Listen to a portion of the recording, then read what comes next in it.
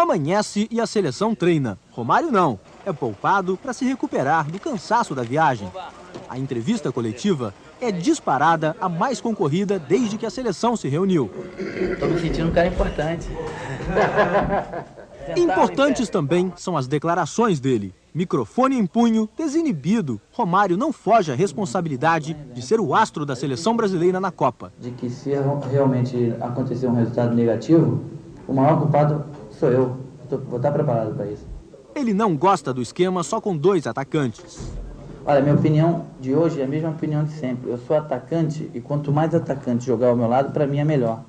Corajoso desmente a CBF, que anunciou a chegada dele a Teresópolis para ontem ao meio-dia e Romário só acabou chegando à noite. Outra mentira, isso é mentira.